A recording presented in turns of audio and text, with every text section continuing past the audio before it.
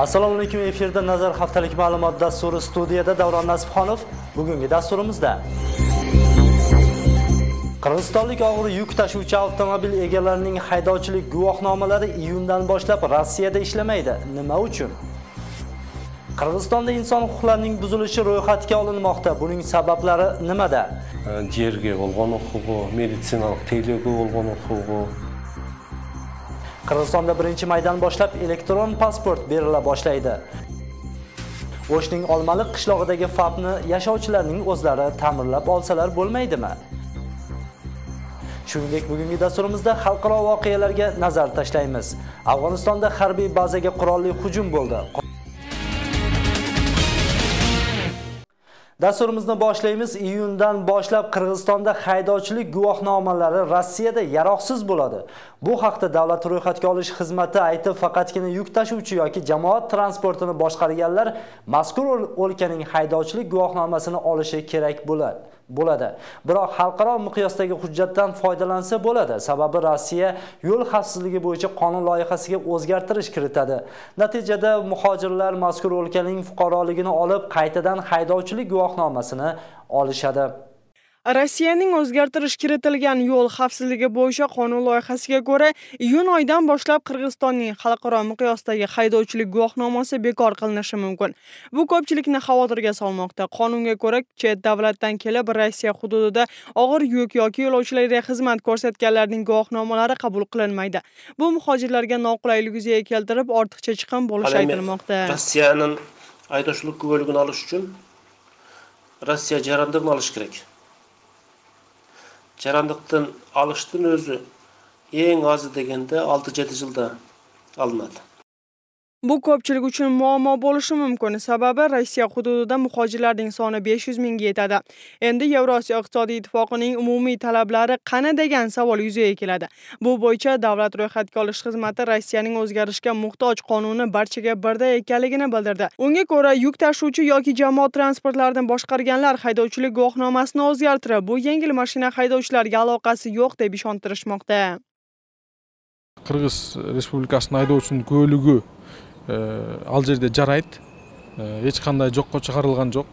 Бул жана мен айткан жогоруда ошол жүргүнчүлөрдү ташыган айдоочуларга гана жана ишкердик менен алектенгендерге гана тиешелүү. А жөнөкөй жаран өзү мисалы тууганын көрөм деп өзүнүн унаасы менен россияга барса аны эч ким ал жерде эч кандай бир тоскоолдук болбойт Sababi Yevrosiyo iqtisodiy ittifoqining talablariga ko'ra ittifoqqa a'zo 5 davlat ichida Qirg'iziston hujjatlari barcha xizmatlarga yaroqli bo'ladi. Fuqarolar tibbiy yordam bepul olib, bola bog'cha, maktablarda farzandlari ta'lim olishi bilan birga diplom asosida ishga ham o'rnashishga haqli. Hozirda Qirg'izistonning Rossiyadagi elchiligi mazkur qonunga ochiqlik kiritish bo'yicha so'zlashuvlarni olib borib, hozircha aniq bir javob olinmagan.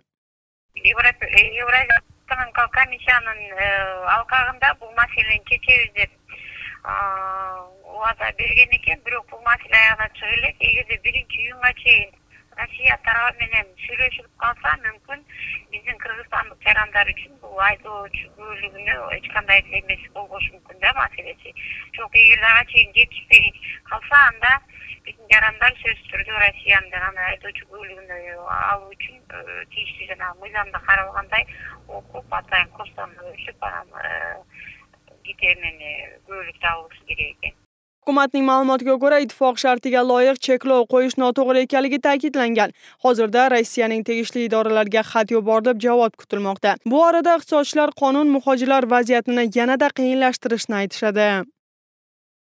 EPga kirgan mamlakatlar баягы мурунку кол коюлган өзгөрүштөр только болгон мамлекеттердин макулдугусу менен өзгөрүлөт да ал мисалы ар бир мамлекет өзүнүкүн өзгөртө бербейт rossiyaning yo'l xavfsizligi bo'yicha o'zgargan qonun loyihasi iyun oyida kuchga kirishi kutilmoqda unga ko'ra jamoat transportlarini boshqargan haydovchilar guvohnomalarini rossiya hujjatiga almashtiradi bu boshqa davlatlardan kelganlarga ham tegishli bo'lib qonun haydovchilar javobgarligini orttirishi aytilmoqda majnun ulug'bek qizi gulzara baqayeva azamat imanov intimaq bishkek Jalolobod shahrida 5 maktab yetishmaydi. Hozir shahardagi nomer 1 maktab gimnaziyasida 1900 o'quvchi bilim olsa, 90 yil oldin 650 bolaga moslab qurilgan.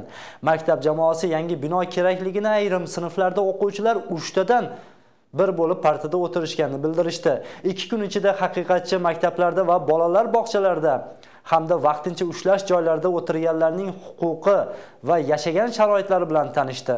Batafsil ilk lavhamizda ko'ring.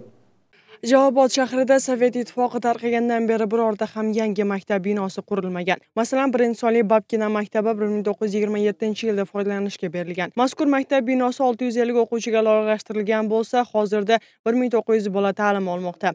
Maktab rahbariyati so'nggi 5-6 yildan beri tegishli xizmatlarga yangi bino kerakligi bo'yicha murojaat qilishgani bilan hali natija chiqmagan. Shu sabab maktab rahbariyati haqiqatchiga bilim berish muassasalaridagi vaziyat bilan tanishgan vaqtida bildirdi. Реакции с выделением тепла. Там выделялись элементы радиоактивные и заражением ими больших территорий.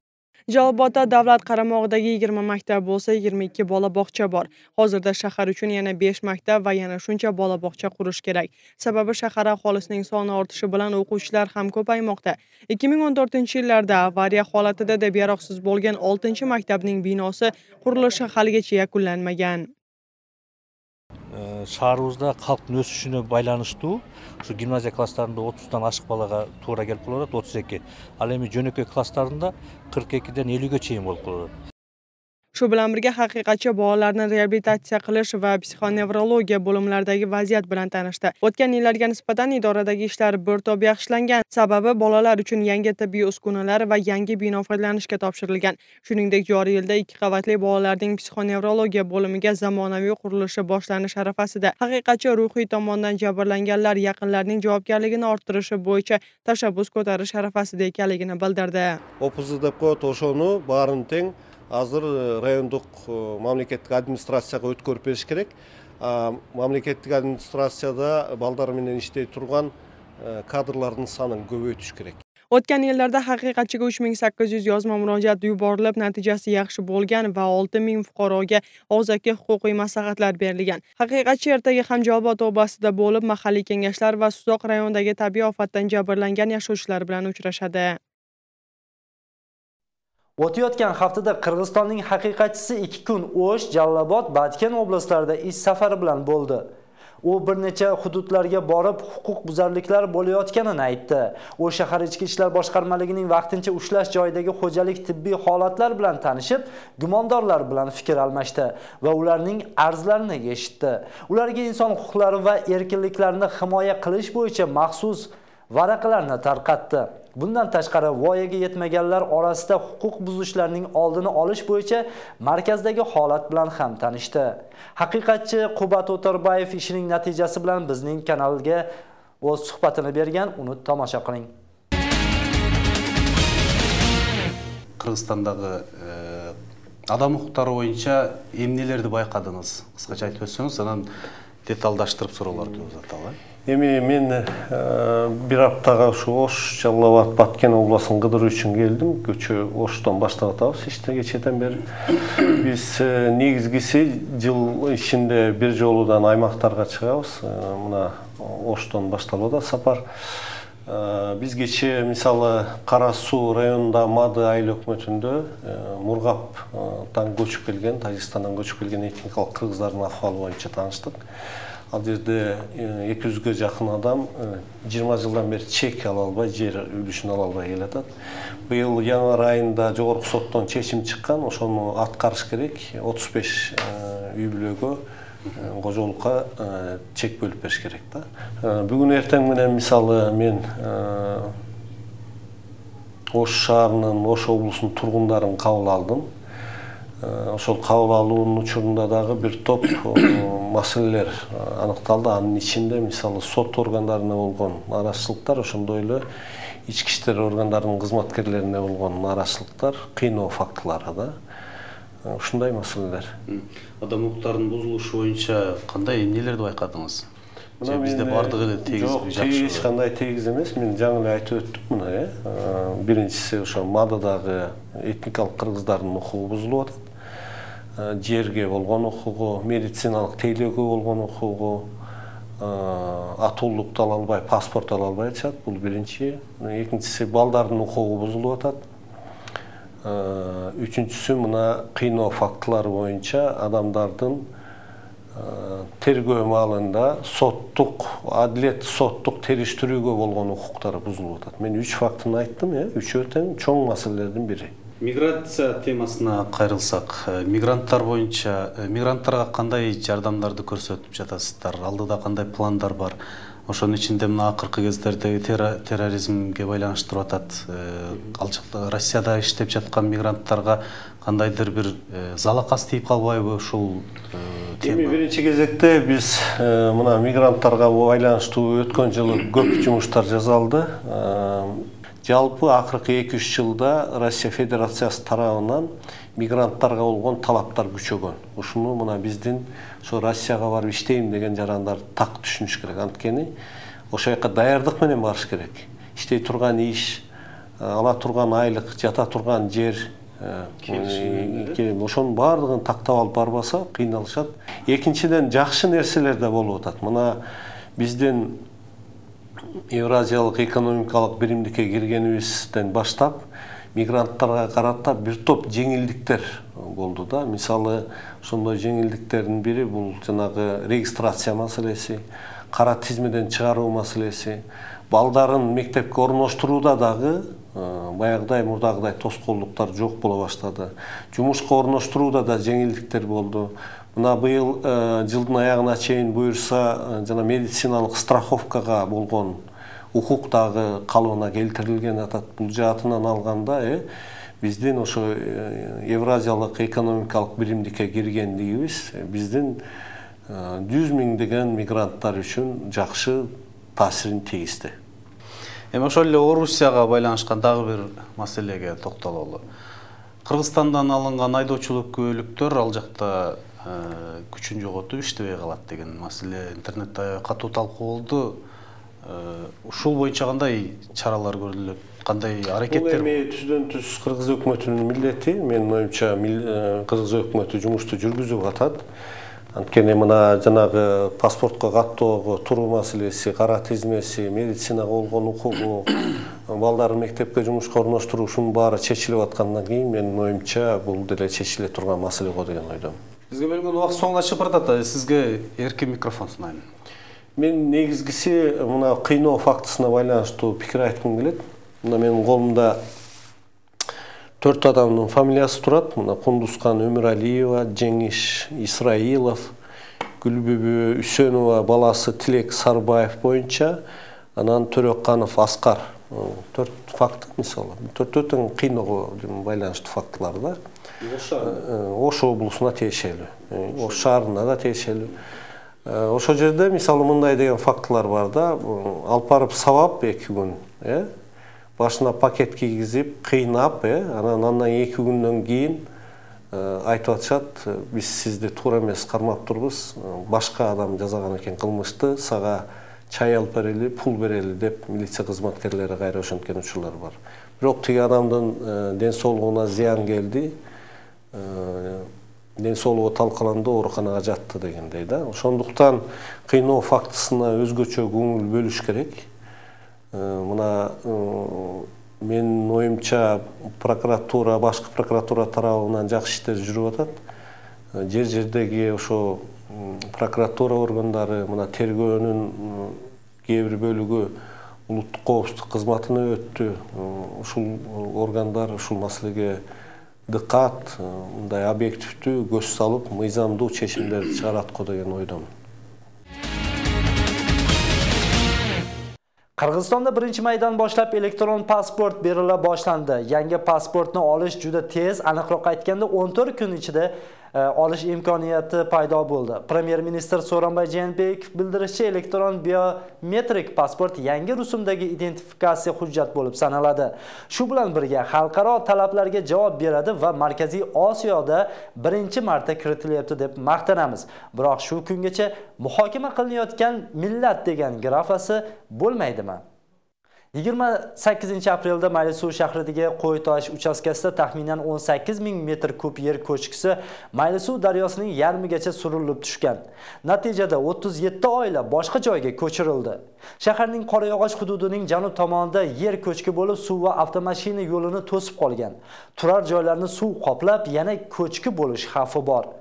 Ko'chirilayotganlar shahardagi tibbiy o'quv yurtining va kollej binolarini vaqtincha olib joylashtirilmoqda.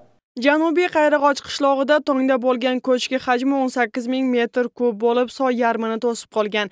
Undan suv yo'nalishi burilib, avtoyo'lning 500 metrdan oshig'ini yaroqsiz holga olib keldi. Shu bilan birga soy bo'yidagi ikki uyni suv qoplagan.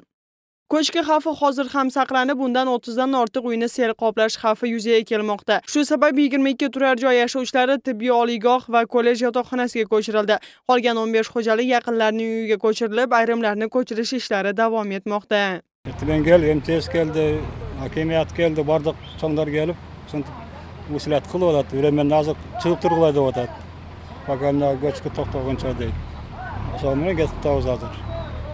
Ko'chki to'rt qishloqning avtomashina yo'lini to'sib qolgan maylisuv shahri bilan Saribe hududiy boshqarmasidagi Ko'koy, ko'priboshi Saribe va Qayrag'och qishloqlariga qatnov uzilib qolgan. U yerda jami 700 xo'jalik bo'lib, 4000 mingga yaqin aholi yashaydi.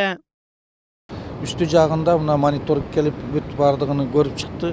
7 миллион көп ошо көчкү азыр жылганы турат дешип атат.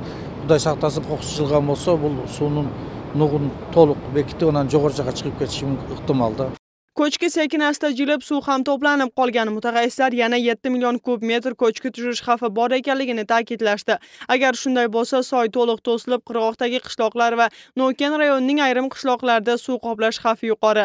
Hozirda 18 ming metr kub ko'chki tushgan. Hozirdagi bu yerdan 37 millioni e, vaqtni boshqa joqqa ko'chirib turishga majbur bo'lib o'tamiz. evakuatsiyalash ishda yurib o'tadi. Hozir bu yerda bir e, 5-6 uy nagrodlarini qapladi, bir ikki uch uyga girdi. Ee, e, alı üylörün barındağı koşurulup, toluk çağrılıp ketildi.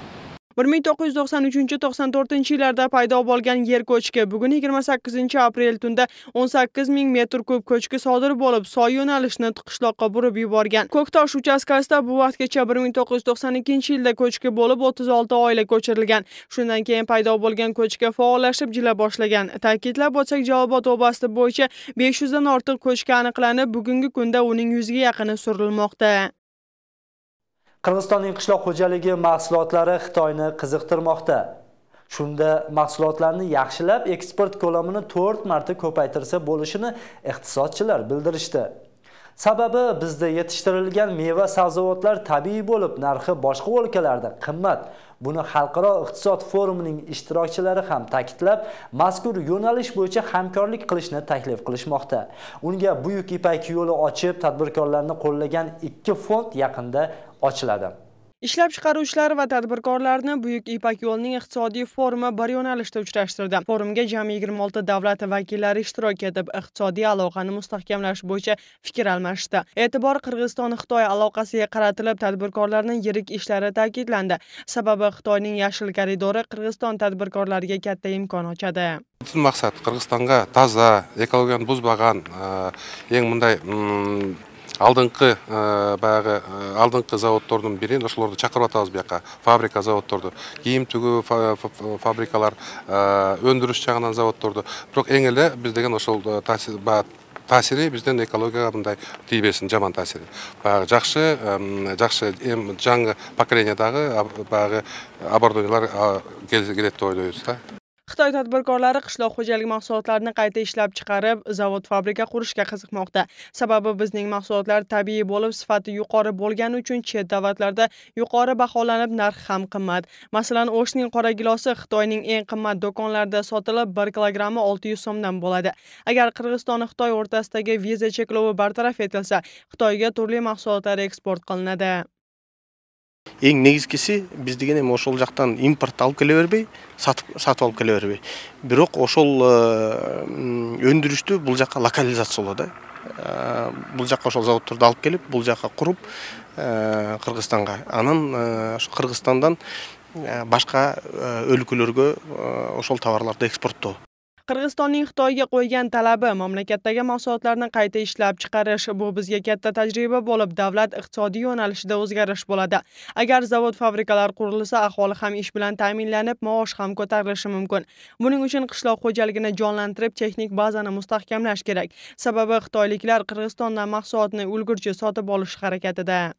Бизден эмне кете алат деген суроого мен ушул тамак аш анан кийимгече таза кийимгече органикалык экологиялык таза ошондой баягы өнүмдөр экспорт кылсак болот. Ошого басым жасашыбыз керек. O'tgan yilda ishlab chiqaruvchilar va tadbirkorlar uyushmasi asosida maxsus komitet tuzilib bu xitoy davlatiga yo'naltirilib muvaffaqiyatlar qo'lga kiritilgan. Hozirda qirg'izistondan xitoyga yuboriluvchi mahsulotlarning sifatini tekshiruvchi laboratoriya qurilishi kuzgacha bitkazilishi rejalashtirilmoqda. Agar ish vaqtida yakunlansa chuy dehqonlari qulupnaylarni xitoyga ulgurji sota olishadi. примером этой евразийской комиссии.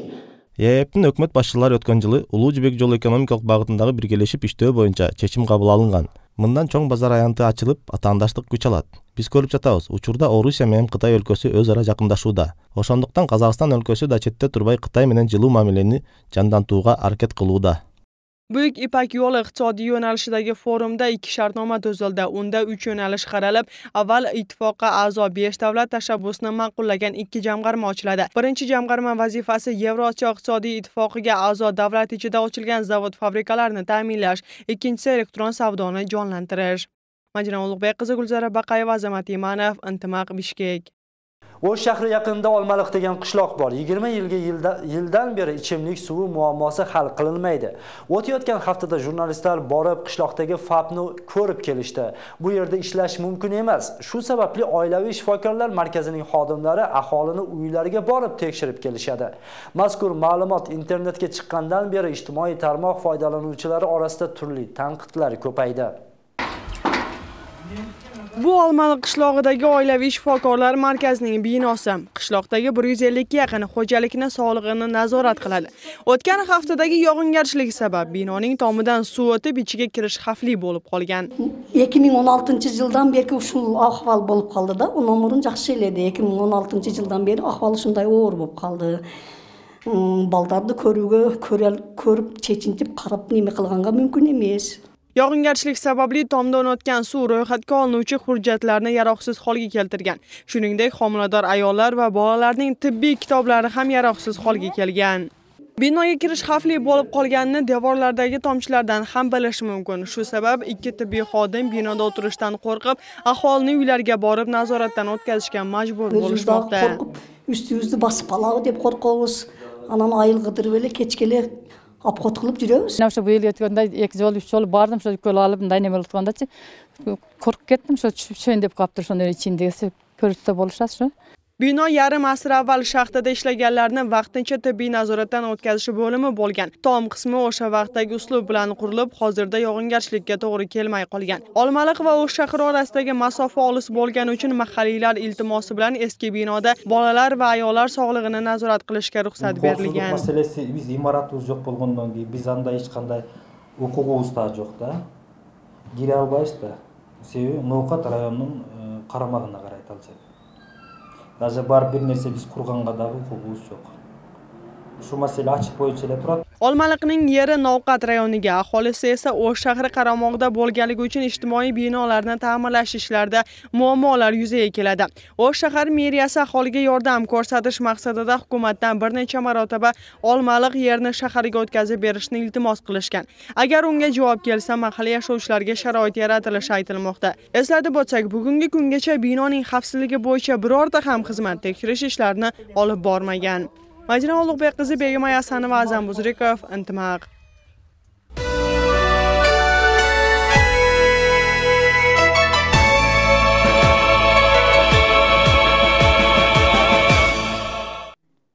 Intimaq Media Group 2 jahon urushi ishtirokchilari bilan tanishtirishda davom etadi. Bu safarga qahramonimiz 93 yoshdagi Faxriy Mamajon To'xtasunov yoshi 100 ga yaqinlab qolsa ham ketmon ushlab, xo'jalik ishlarini yaxshi bajaradi. Uy parrandalarga don berib, ayrim vaqtlarda hayvonlarga ham qaraydi. Achingani birga urushga borgan ham qishloqlari qolmagan. Urush faxriysi bilan navbatdagi lavhada yaqindan tanishing. Bir ming to'qqiz yuz qirq ikkinchi yili mamojon to'xtasunov o'n to'qqiz yoshida jang maydoniga chaqiriladi. Avval o'zbekistonning samarqand shahridagi harbiy qismda o'quv mashg'ulotidan o'tib serjant degan harbiy nom oladi. bir ming to'qqiz yuz qirq uchinchi yili frontga jo'natilib arlov shahrini bo'shatishda belgrad xarkov uchun bo'lgan janglarda qahramonlik ko'rsatadi. Shu yillarda qahramonimizga ikki marta o'q tegib og'ir yaralanadi. Dardsam өтігімі шар кесіп берді кесіп беріп неме қылса мындай қарасам путым shu өзінің емтегінде қалып қан атып алыпты аппақ болып сүйегі көрініп тұрып faxriy olgan jarohati sababli 1944 yili o'z yurtiga qaytib keladi. U urush vaqtidagi voqealarni jang maydonidagi qon to'kishlarni bugungiday xotirlaydi. Madaniyat qishlog'idagi yagona Fahriyning yoshi 93 ga borib qolgan bo'lsa ham hamon tetik. Ketmon ushlab tovuq boqib xo'jalik ishlari bilan o'zi shug'ullanadi. қолдан келішінше азма шыпырғы тебі қолға кетмен тебі біраз жылдырып тоқтар төделерге бағышқа қарауылдық қылышқа күш кетеді.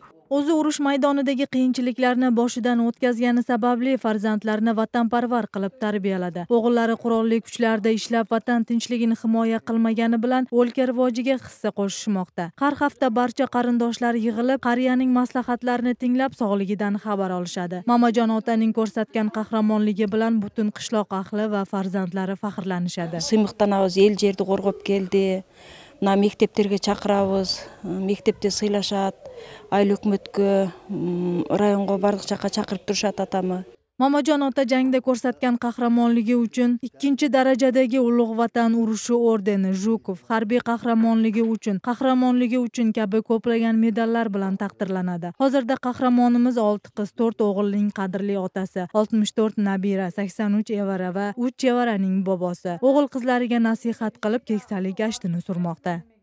Endi bundan bu ел жұрт заманыбыз тыныш болып асты мына шу чаянға да соғысты көрсетпесін англия afg'onistonning mozori sharif shahridagi harbiy bazaga bo'lgan hujumda halok bo'lganlarning soni 200 ga yetishi mumkin. Bunday ma'lumotni anonim shart asosida hukumat vakillaridan biri bildirdi. Ma'lumotga ko'ra 21 aprel kuni bazaga harbiy formada qurolli guruh bosirib kirgan. Ular Taliban harakatining a'zolari ekanligi aniqlandi. Voqea juma namozi vaqtida bo'lgan deb aytilmoqda. Ayrim ma'lumotlarga ko'ra toliblar bazaga kirish uchun o'zini portlatgan xudkushlardan foydalanishgan. Afg'oniston harbiy bazasiga uyushtirilgan qurolli hujum oqibatida 150 kishi halok bo'ldi. Hujum tolibon radikal harakati tarafidan amalga oshirilgani aniqlandi. Halokat sababli 23 aprel o'lkada motam kuni deb e'lon qilindi. Voqea mozori sharif shahrida ro'yxatga olingan. U yerdagi harbiy bazada natoning ham askarlari bo'lgan lekin ulardan jabrlanganlari yo'q. Guvohlarning aytishicha harbiy forma kiygan o'nlagan kishi bazaga avtomobilda kirib kelishgan. Ular tezda bazadagi harbiylarga qaratib o'q ota boshlashgan. Башында бир нерсе жарылгандай болду андан кийин атышуу башталды toliblar mazkur hujumni afg'onistonning shimolida bombalash ortidan halok bo'lgan liderning o'limiga javob tariqasida amalga oshirilganini aytdi. Hukumat rahbari esa hujumdan qazo bo'lganlarning soni yana ko'payishi mumkinligini eslatmoqda oxirgi vaqtlarda tolibon harakati afg'onistonning oxirgi vaqtlarda tolibon harakati afg'onistonning sharqiy va janubiy qismlarida faol ish olib bora boshlagani bildirilmoqda. Shu bilan birga jangarilarning islom davlati terror guruhiga qo'shilish holatlari ham ko'paygan. Dasturimiz davom etadi. Siz nazar axborot ma'lumot dasturini tomosha qilmoqdasiz.